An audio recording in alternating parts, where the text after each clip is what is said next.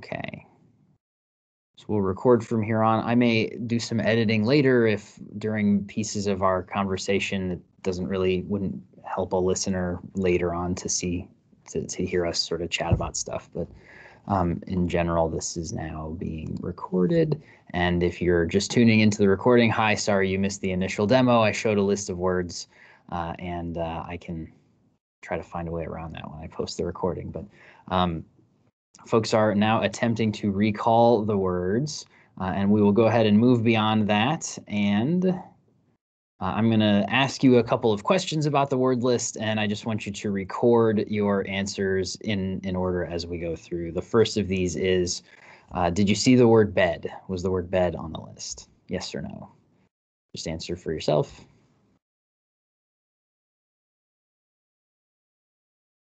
Next, did you see the word sewing? Sewing on there anywhere?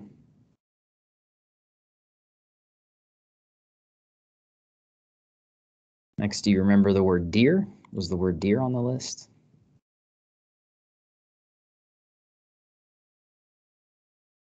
And lastly, did you see the word needle? Was needle on the list? So you've got yeses and nos for each of those. Uh, let's uh, go through this. Um, before we do, we'll talk a little bit about those free recall lists. Just pop into the chat the number of words that you came up with. Uh, how many did you remember out of that list? Just out of curiosity, how many are you confident that you definitely have correct? Not pretty good. Six and seven, eight. Nice.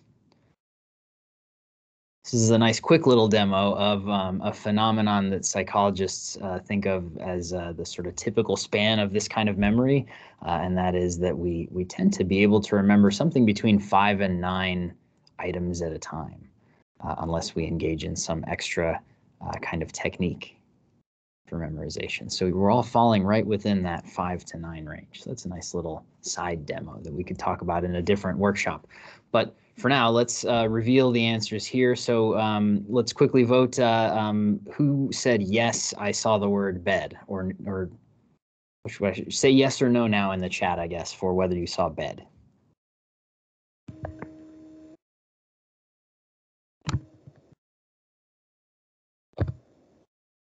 Yes, most agree. No, we did not see bed. Uh, so who? How about sewing? Yes or no for sewing? Yes, yes, yes is for sewing. Absolutely. How about deer? Easy nose for deer. And how about needle?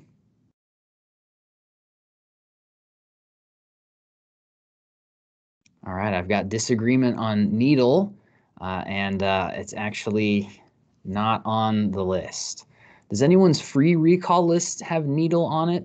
Just out of curiosity throw me a, a needle in the chat if you've got needle on your free recall list. Yeah, very nice. So I'm going to leave you hanging, and I promise we will talk about exactly what on earth this was in just a minute. So hang with that cliffhanger for just a little while. So today, uh, in the hour we have here, I want to um, give you the definition of memory as uh, I try to understand it, uh, and that is as a network of interactive activation. So we'll try to break down all the jargon in that sentence and, and, talk about what it actually means. And then we'll talk about what that gives rise to in terms of an actual experience for people and what the features and, and some of the bugs are of, of that system and how we can use them to uh, aid student learning. And so hopefully this will give you some new ideas because a lot of the folks in here, we have a, quite a range um, of folks who are new to the classroom and some who've been in it for a, a good chunk of time. And there is a version of this where we we talk through some of the basics that you could find in books. Um, things like um, you know students need to get enough sleep. Uh, they should study more than just the bold words in the textbook. Um, they shouldn't play TV and music in the background. Uh, get the book, read the book, read the syllabus, come to class. Like those simple suggestions, I want to get beyond those uh, and try to give you something that comes from uh, comes from from memory research to to give you a little bit of extra, hopefully new knowledge here. So um, memory is, I think, best defined by Atkinson and Shiffrin in a um, they're they're both sort of known memory theorists who who gave a definition in 1968. They called it the faculty of the mind by which information is encoded, stored, and retrieved. And so there's two big pieces to this: the fact that memory is is a faculty of the mind. It's one of the functions of the mind, uh, and uh, the word mind is important there in that it is different from the word brain. Uh, it's not we're not talking about the physical aspects of memory here. We're kind of we're talking about the more um, ethereal kind of uh, approach to f- figuring out what it is and how what it does and how it works for us in a in a in our daily lives. And then the second piece of this is that for something to be remembered, it should be encoded and then stored and then retrieved. So we have to have all three of those parts of the process. We have to, first of all, we have to perceive the thing, we have to experience it, but then we have to send it off and encode it into memory. And then memory has to hang on to it in storage. And then we have to be able to go back and get it. I always think of um, uh, a Seinfeld episode where he's really mad at the rental car center, center saying, You know how to take the reservations, you just don't know how to hold the reservations. As memory has to do this too.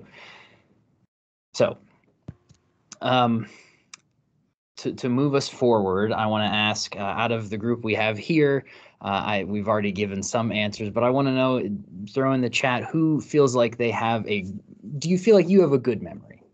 Just give me like a, a, a yes or a no or a shade of gray there. Is your memory good? Are you good at remembering stuff?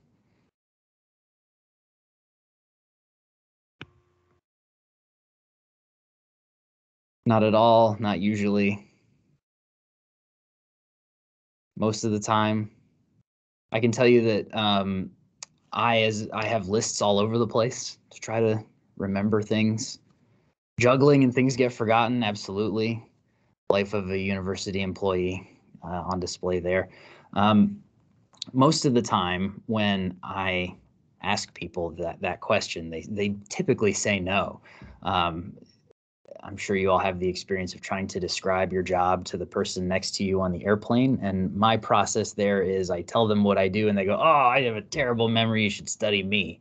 And I go, "Sure. What are you doing later?" Um, but then after that, uh, we we usually end up talking about mnemonics, which are intentional methods for memorization. So when you run into something that you want to try to remember, like say you have a shopping list and you can't take paper with you, uh, or you want to remember uh, a certain uh, the names of the students in your class, or uh, when we were kids, we learned the the states and the capitals and things like that.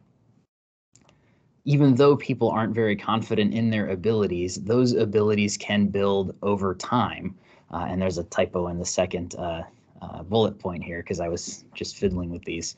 Um, I want to tell you about memory athletes. So there are people who intentionally learn mnemonic methods so that they can be better, faster memorizers, and they compete against each other. They they memorize random lists of hundreds of words presented at a one second rate and can recall them in order. But many of these folks, these memory athletes like Nelson Dellis on the top left of the slide here, had more or less average memories when they started training. They just learned about how to use memory. Uh, so having a good memory, being able to remember things is not an inborn talent. It's something that we can practice, uh, and it's it's not necessarily something that we lose over time.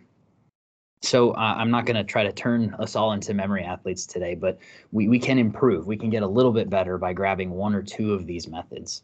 Um, just by understanding how memory works and then applying that understanding to uh, to practice. Uh, so we will uh, off, give our offerings to the Greek goddess Mnemosyne, uh, the other photo on the slide here. An example of a person with no special skill uh, was a student recruited by a researcher named Anders Ericsson. Uh, the student's name was Steve Faloon, and Steve and Dr. Ericsson met in Ericsson's office every now and then over the course of a few uh, months, I think maybe even a full year of school. And uh, with no particular instruction, Steve learned to memorize quite a long list of numbers all at once just through practice and developing his own personal strategy. Uh, so we have uh, his number of words uh, able to memorize on the uh, y-axis here in, in one give and go, and then the instance of the meaning on the very squished x-axis. Uh, so you see that he kind of plateaus a little at first. He has trouble getting beyond 10 or 15, and then eventually starts to figure things out and, and really skyrockets uh, after that. The point being, Steve could do this. We can all do this. Uh, you can do it. Your students can do it. We can utilize these lessons to remember better. So with all that established, let's let's back out and, and talk about memory a little bit more conceptually. So memory is only possible, as I kind of already alluded to, because of perception. Uh, we are only able to remember things because we once perceived them. And our perception, unfortunately for memory, is constructed moment to moment. Uh, it is a process in which we try to gather the information from the world around us as best as we can and fit it neatly into categories of things we've seen before and things that are new to us and in general try to process speedily. Um, you all already know that there are visual illusions out there and that those things get even more complicated when you start combining multiple senses. So it's, it, I think, not too controversial for me to say that perception is imperfect. Uh, we do not perfectly perceive everything around us at all times.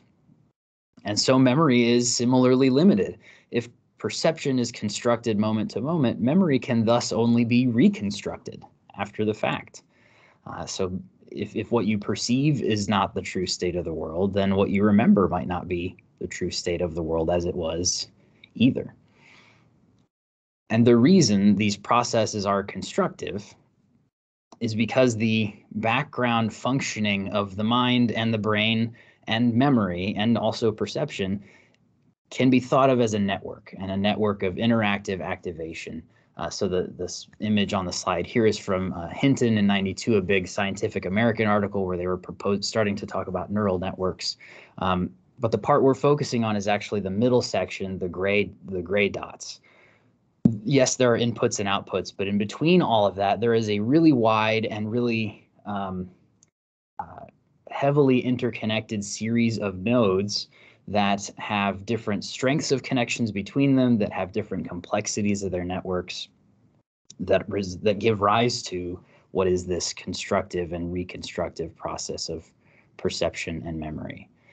Metaphorically, it is more accurate to think of your memory uh, like a Wiki- Wikipedia page than it is to think of it like most people do, like a video camera.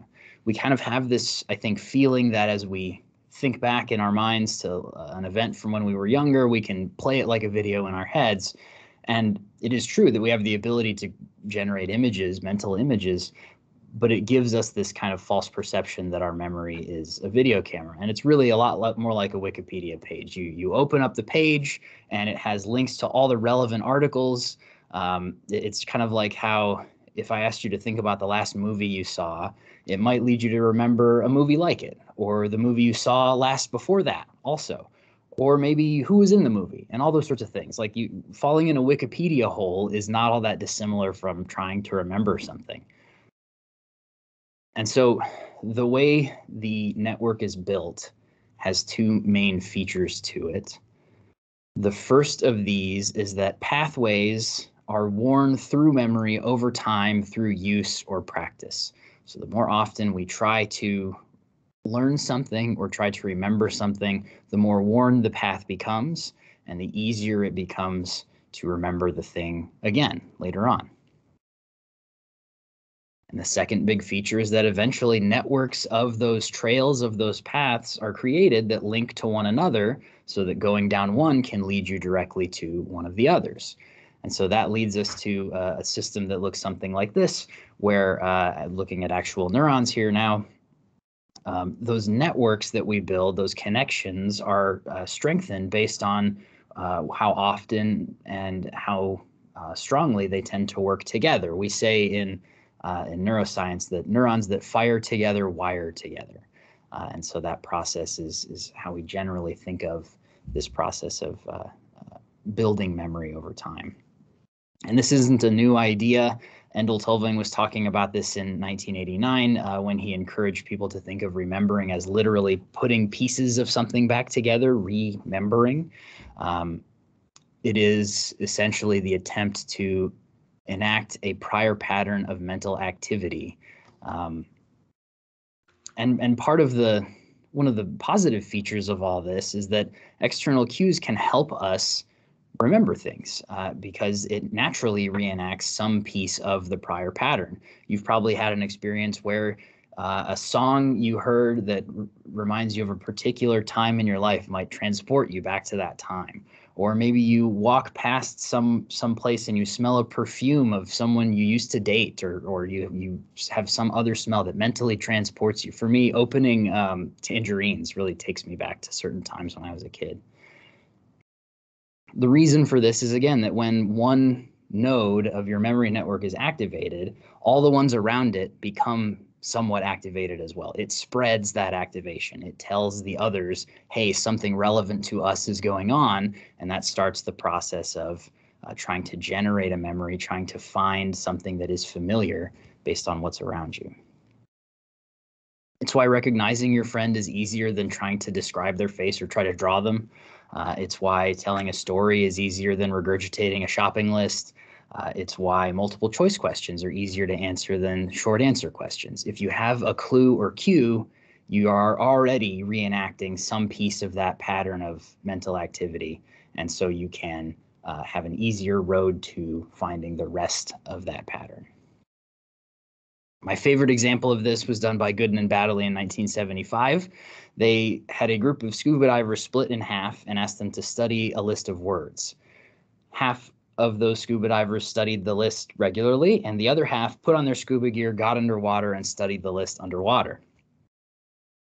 After they came out for the test, they split them each group in half yet again, so that half of the people who studied on land were tested on land, the other half of them put on their scuba gear and got underwater. And the same was true for the group that studied underwater. And what you can see on the slide here is that the group that studied on land, yes, remembered more words when they also tested on land and remembered fewer when they had to go underwater. But maybe a little counterintuitively, the group that studied underwater also tested better underwater. And the reason for that is that those external cues, those pieces of the uh, pattern of their um, mental activity more closely resembled the original. This is why being in the same room helps us remember things better. While you walk back into the room you were just in, you go, oh, yeah, that's what I was doing. There are external cues helping you remember that. It can even be true for mood, state, smells, all that kind of stuff. And this is actually especially important if a test provides really few cues. I worked at a university where uh, all the final exams were done in the gym in like newly set up desks. And I thought, boy, a multiple choice test in the gym surrounded by all this other like loud ambient noise and, and a room you've never studied this topic in would be really tough. Uh, we could have made it easier on those students. So these same things that are features of memory uh, can also sort of be seen as bugs potentially. Um, in that, as we try to remember uh, particularly something we're remembering from longer ago or a memory that is a little weaker, we start to make inferences without really consciously thinking about it based on our prior experiences and knowledge because, again, the network is becoming activated. So memories quite often include pieces that are implied by the to be remembered information but aren't explicitly part of the memory. So um, if I asked you to remember uh, say a certain time you went out for pizza with a certain group of people um, in the last couple of years, you could probably remember certain aspects of that that might not actually be in your mind, but would be really safe assumptions because of your knowledge about that pizza place and those friends. You could probably guess some of what you talked about. You could probably guess uh, about what time of day it was. All those things uh, fill in our memories a lot of the time. And this is a pragmatic process. It makes good sense. It's based on knowledge we've gained through experience. And so most of the time, this leads us to good, accurate memory. But and we don't really notice when that goes on. But sometimes it doesn't. Uh, and those are the moments we notice. Those are the things that lead my plane seatmates to tell me their memories are terrible. A nice example of this was shown by Loftus and Palmer in 1974. So they showed a video of uh, a, car accident uh, and then they asked uh, a question. they asked how fast were those cars going when they blanked into each other. And so they had five different groups of participants, each of whom saw a different word in the blank. So some saw smashed, some saw collided, bumped, hit, and contacted. And then they asked all these participants to estimate the speed the cars were going when they ran into each other. And even though they had all seen the same video and not that long ago, their speed estimates can be separated by the verb they saw when when they answered these followed up follow-up questions. Uh, so if they used the word smashed, people estimated about 40 miles an hour, and if they used contacted, people estimated uh, nine full miles an hour slower, 31. And this is hugely important when people are trying to report uh, what happened in an accident to the police right after the fact. Uh, so these these pragmatic inferences we make from the information we get around us can be uh, pushed in, into mistakes. And in a, a nice follow-up example, they asked everybody a week later, "Did you see any broken glass?" Even though there was none in the video, and most people, luckily and accurately, said no. But in the group that saw smashed, twice as many claimed to have seen broken glass compared to the group who saw the verb hit in that follow-up question. So these tiny, tiny things can have huge, huge influences on our ability to remember. And this falls back into uh, the demo we did at the beginning. So that's called the DRM paradigm, uh, which is an acronym of Deese, uh, who originally came up with this in 1959, and then Roediger and McDermott, who uh, sort of saw a surge in popularity in it uh, from the 90s to now. In the DRM paradigm, you present a list of semantically or meaning-based uh, words, words that have similar meanings that sort of center around a theme. I showed you the needle list, which is why I was asking about needle at the very end. And then you show you have a recognition memory test, and that test includes some words that were actually on the list, some words that were unrelated distractors, and then the semantically related distractors. And usually there's one that's sort of everyone has in mind as they make a list. For us, it was needle. For the example on this slide, it's sleep. And what you see is that people report related distractors almost as often as words actually on the list. They're very confident that they were on the list. They even say, I could feel like I could picture that word in front of me. Uh, and it happens even if you know about the effect. And this again is because memory depends on what actually happened, but also our knowledge, experiences, and expectations.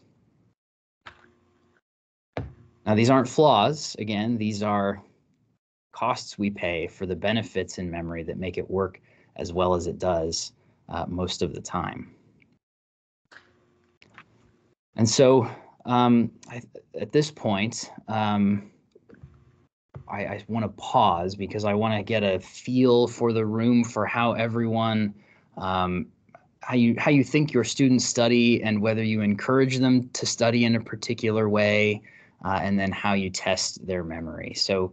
I, I, think the best way to do this would be to put together breakout rooms of two or three folks to talk your way through the answers to these three questions. Um, I'm not sure if the slides will follow you to a breakout room, so maybe you might want to jot these down really quickly. Um, question one is how do your students study or how do you think they study? Number two is how do you tell them to study? Do you give them, when you give them tips, what tips do you give them?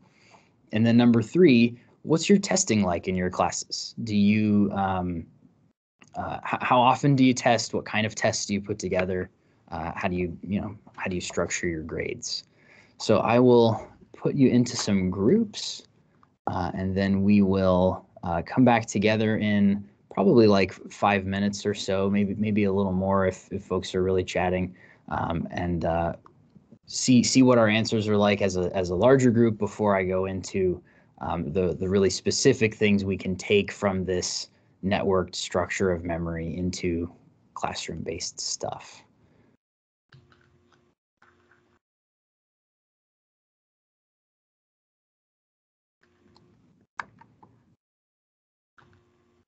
This requires me to remember how to make breakout rooms, which I literally just looked at and, and already can't remember.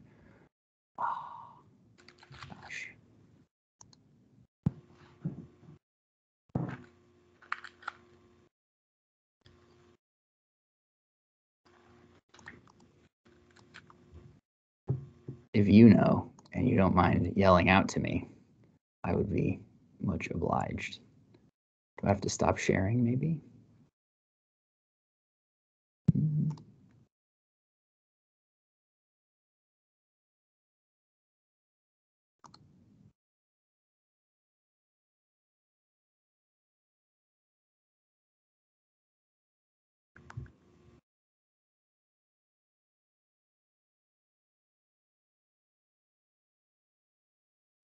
Mm. I'm not finding a reveal, so uh, it's not revealing itself to me anyway. So why don't we just do this as a big group? Um, so, uh, and I'll invite anyone to jump in as, as you please. Uh, how how do your students study? How do you? What's your impression of what they do to study for in in general or for a test for a specific test? I'll jump in. This is Nicole. Um, we just had an exam today, and it was basically like we're going through diversity of life. So it's a lot of just different family and phyla, and I think they just read through the notes. And I would rather them try to find ways to diagram it and kind of organize or put it in some type of graphic. Like that's how I would do it. Yeah, so um, I, I'll agree with you that that my folks do a lot of reading and rereading also. Some of my students do a combination of things. They might do a lot of rewriting and making note cards and rewriting. Um, they do study groups and they do quizzing of each other. Um, some Awesome. some do um, what was the oh they do um, create tests. They use like um, quiz, Quizlets and they'll create their own tests and do things like that. Your students are pros, Nancy. That's that's all really good stuff. Um, They're nursing students. that's that's really good. Um, getting in groups is something that isn't in my presentation at all, but has been, um, uh, I, I think, th- through a number of different te- disciplines in teaching and learning research, improve student grades. So whenever they get into groups, that that helps them, no matter what they do. Anyone else?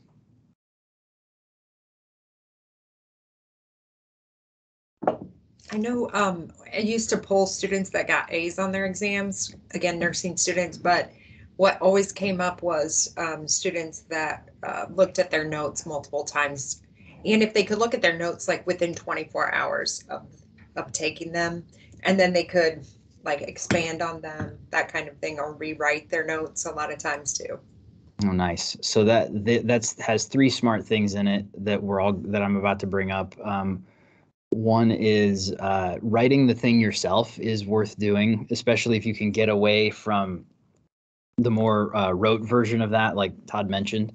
Um, if you can, if you can actually get yourself to produce knowledge, that's good. And then another thing you're talking about is asking further questions after something, after you've sort of mastered the content. Uh, the term for that for us is overlearning, and and that also helps. Um, and then uh, uh, the, the first thing you said was, "Oh, looking many times over time," and and uh, I'm sure you you all are well aware that um, cramming is bad and that spacing out your studying is always better. But that's that's an important feature too. So if a student came in to your office and said, "I just all I do I I read the book, I come to class, I but I still don't do well. How should I study to do better?" What would you tell them?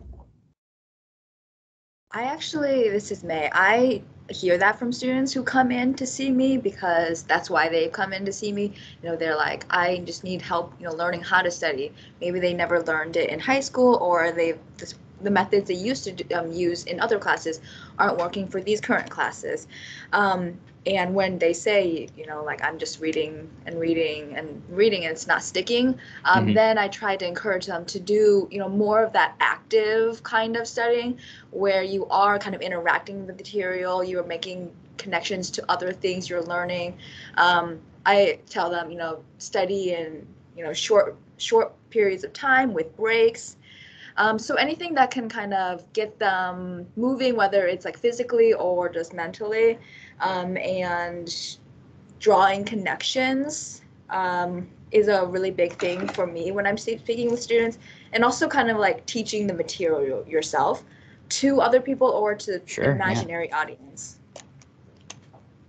Yeah, yeah, connections are huge. That that might be the the the biggest takeaway from this my presentation is building connections to other things, um, basically widening the network. I'm, I'm about to talk a whole bunch about um, trying to establish multiple routes for retrieval.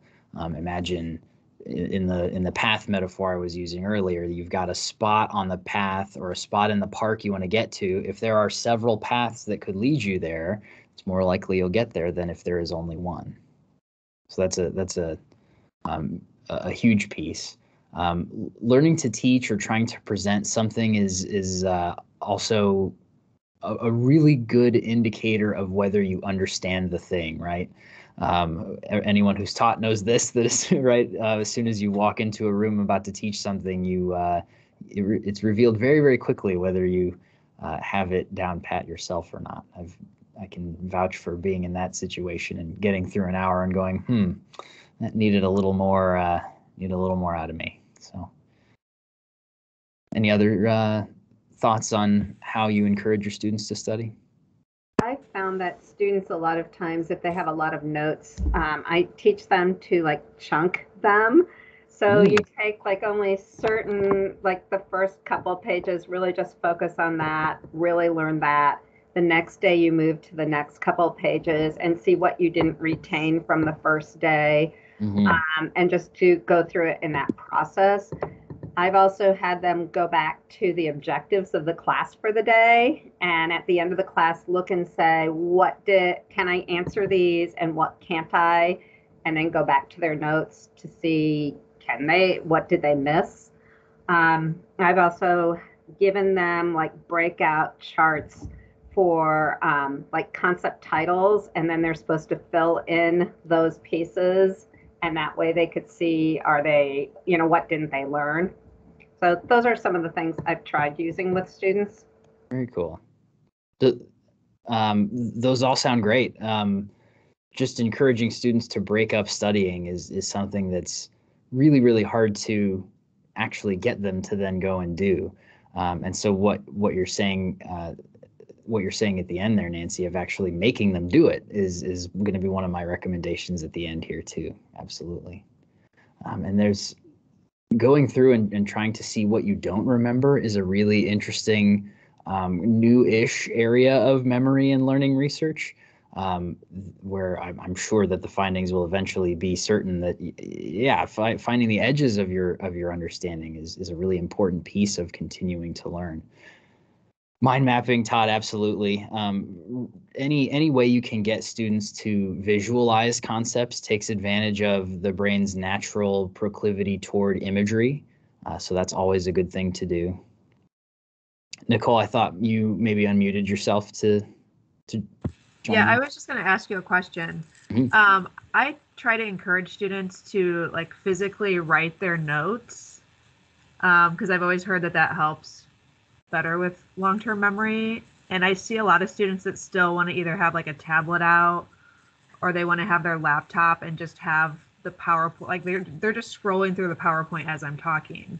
Yeah. Um, Do you have any thoughts on that or a way to kind of convince them? There's research literally on this, and there's a couple main conclusions from it. The first is that when a student's on their computer, they're much more likely to get distracted by something else. So it's it, it's it can be worth avoiding for that reason alone, and then they distract people around them, right, who can see their screen. Um, the the thing that seems to drive it is it is generally true that people writing longhand notes re- retain information better than people typing notes. And the difference there is that people who write longhand uh, have to well let me say it the other direction. People who type especially young people who type are such good typists that they could type literally everything you say they could transcribe your lecture into a, a written version of it and they do not have to very deeply process what you're saying in order to do that. They can just let it sort of flow from their ears into their hands and, and just type it right out. But when students take longhand notes, they can't keep up. So they're forced to absorb what you're saying, work with it a little bit to write it in a shorter, summarized format. So it's definitely, uh, it, it seems to be true in the long run that longhand notes, when done, if, if compared to transcription, uh, are, are an improvement. But if students are writing um, carefully summarized points on their computers, that can be good too. Um, and then of course there's a um, uh, there's an accessibility thing to consider as well. Maybe a student can't write fast enough or doesn't have the dexterity or, or you know any other number of issues they might reasons they might need a computer. Um, and and then the personal responsibility piece comes in when when you worry that they're distracting themselves. I mean, that's a that's a choice for an individual instructor whether you want to limit that or not. Um, but yeah, that's does that answer what you're thinking? Yeah, that that does help. Yeah, thank you. I used to um, show in Gen Psych. I used to present students with a paper and have them read read a news clipping of of exactly the the study I'm thinking of um, in which they originally compared longhand to, to typed notes. And um, I have stopped doing it because uh, my impression is that that finding is more based in transcription versus summarization than literally computer versus writing. So, but there's one other aspect to that that's interesting, and it is um, it's called the we call it the production effect, which is that if you um, if you have to produce any piece of something, it makes it a little more memorable as well. So, um, the, the one of the funnier examples of this is that when you bleep swear words out of songs, people remember the swear words better because they had to add them back themselves. So the act of producing the word made it a little more memorable. So that that has something to do with with note taking in general, and with you know some something to do with repeating your notes. But again, if you're literally just retranscribing yourself as a student, it's not all that helpful. Can be, but it could be better. There there are more effective things to do. Let's talk just a little bit about testing then. Um, what kinds of what kinds of questions are, are is everyone asking uh, on their on their exams? Are we seeing, or is there a lot of multiple choice, a lot of short answer mixed between the two, writing assignments instead of tests? What, what do we have going on in the room? For a lot of my, sorry, this is Caitlin. Um, for a lot of my classes, I that have tests, they are a combination of short answer um, and multiple choice types of questions and and matching.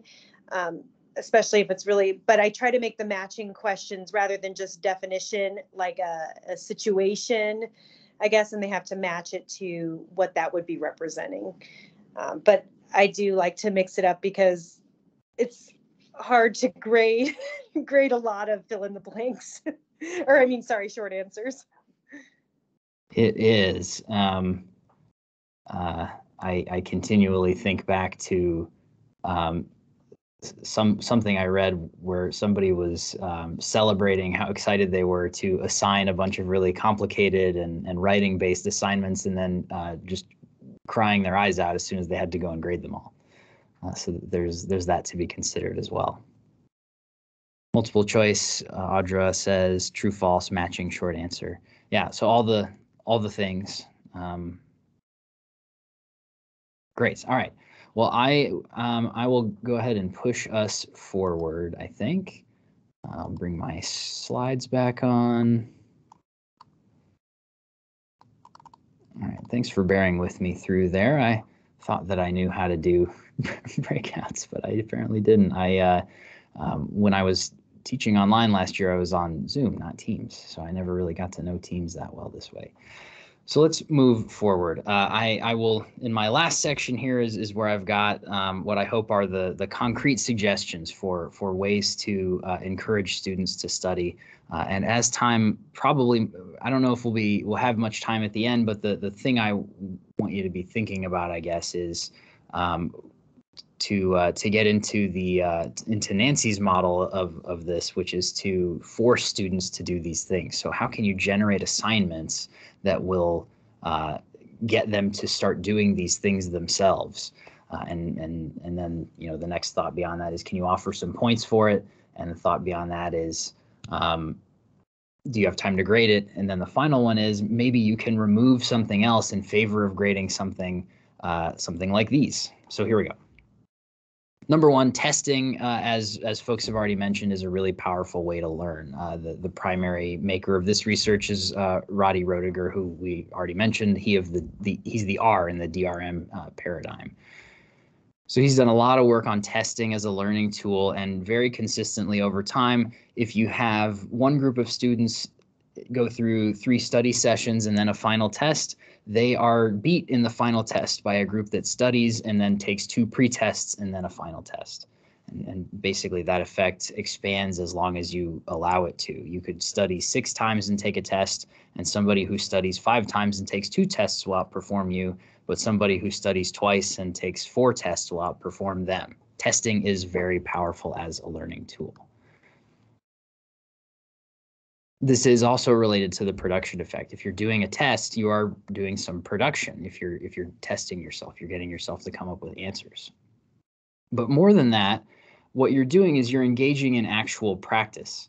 Uh, so if you, for example, uh, went to study uh, by um, reading and rereading the textbook, uh, you, if a student went to uh, study by reading and rereading their textbook, and then they came to your uh, test and it was uh, multiple choice questions or short answer questions, they would have done something not unlike learning to skate really fast uh, and then uh, turning over in that and uh, trying to use those skills to go and play hockey.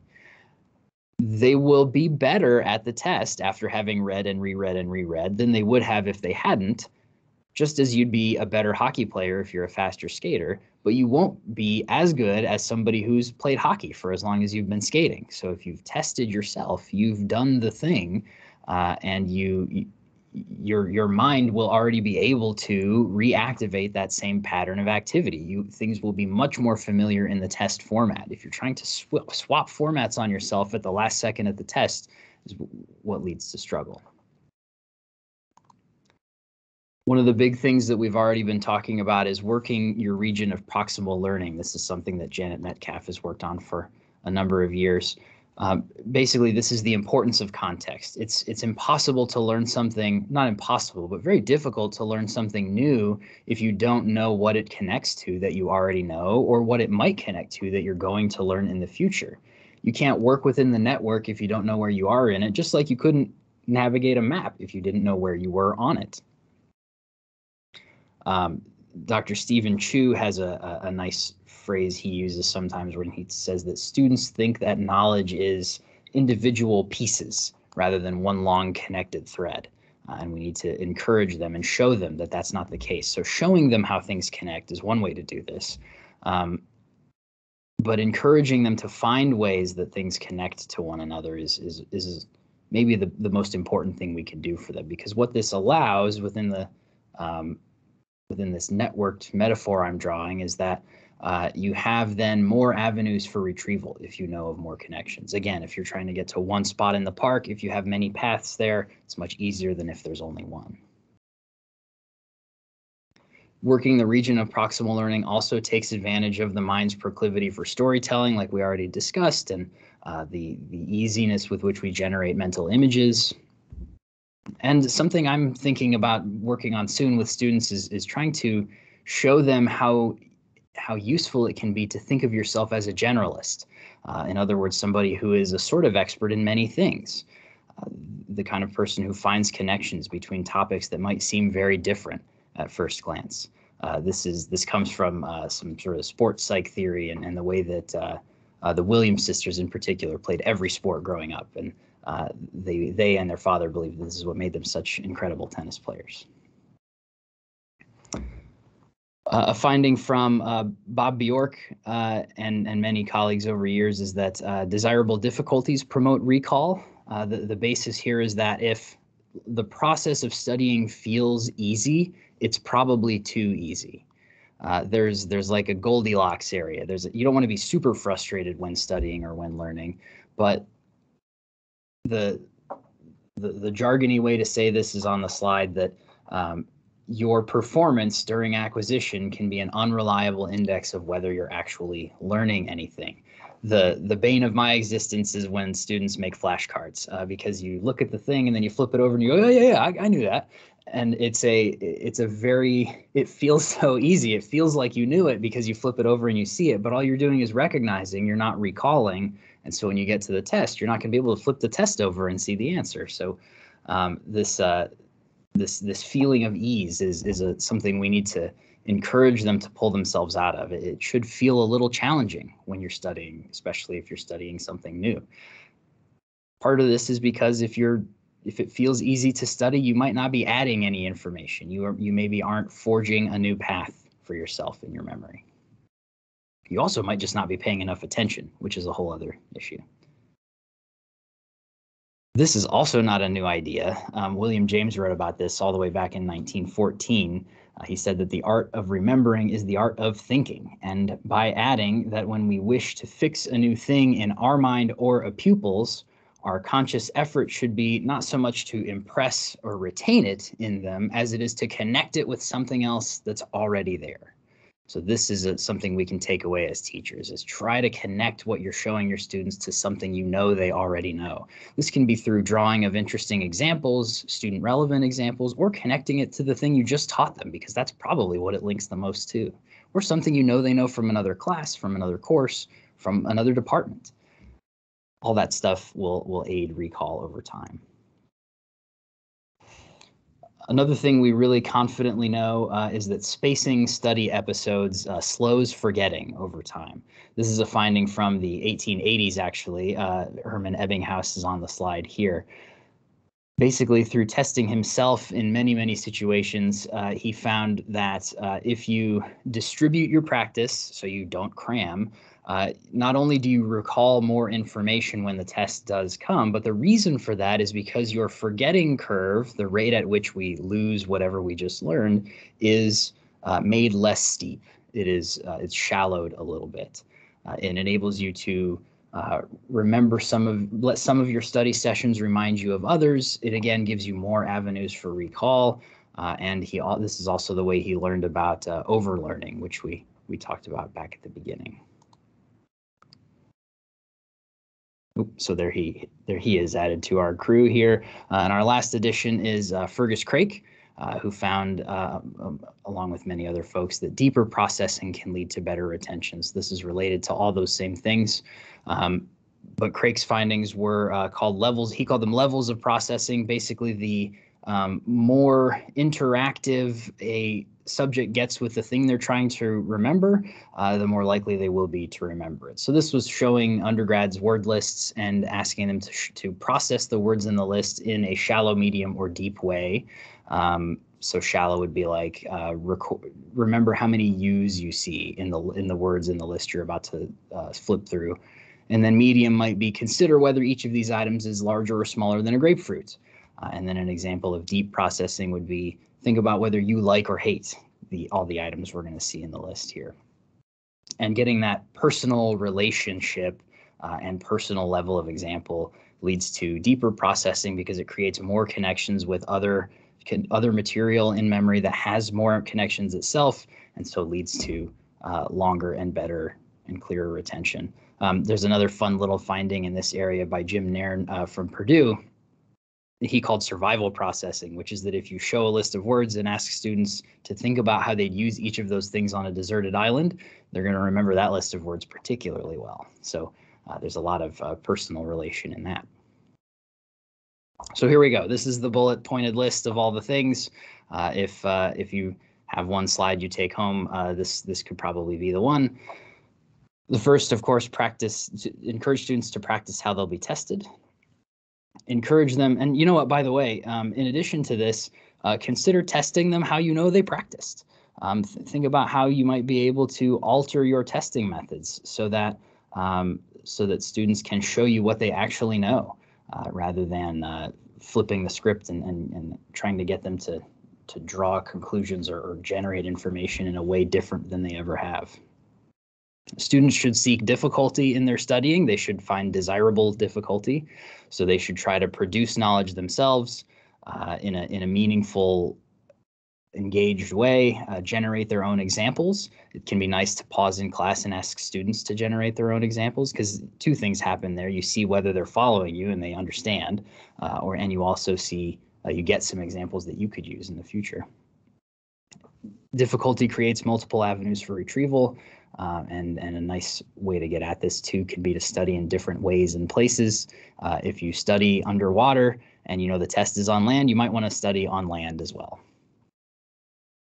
work that region of proximal learning, seek relational processing, seek deep processing, um, in, investigate the idea of whether you can overlearn. Can you ask yourself additional questions about the thing you were studying, or can you apply it to your own life?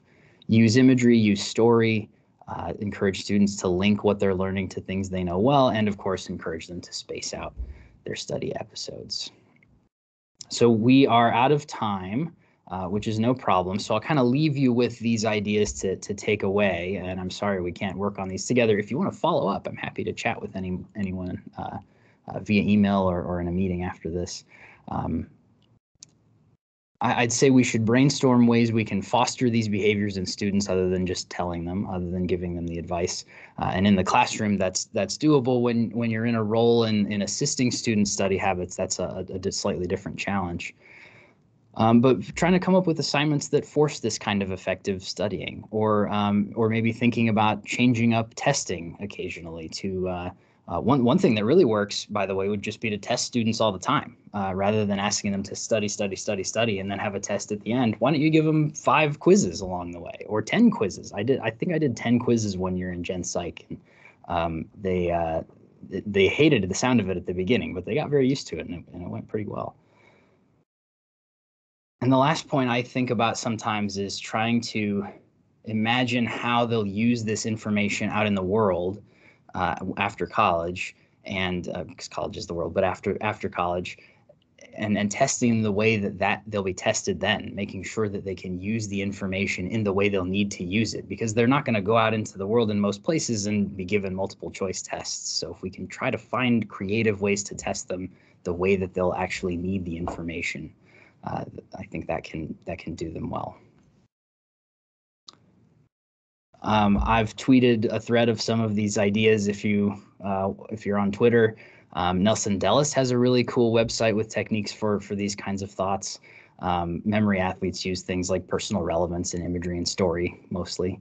Um, and uh, yeah, that's I'll sort of finish there. I, I, have one last little point on here that um, working memory load is a totally different but related topic to all this. So I'll just I'll not bother saying that. Um, and uh, if I, I hate to keep people after, I, I, I know that many of you probably have places you already need to be. So if you've got to go, thanks thanks for coming. Uh, again, if you want to follow up with me at any time, I'm around. Um, but if you want to stick around and chat at all anymore, I'm I will I will stick for a little while. But thanks. Thanks for coming. Thanks for participating.